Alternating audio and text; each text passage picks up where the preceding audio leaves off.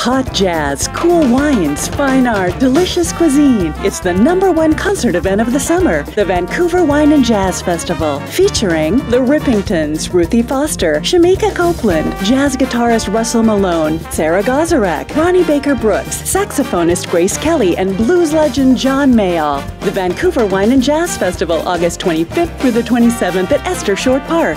Tickets at vancouverwinejazz.com. Presented by these fine sponsors.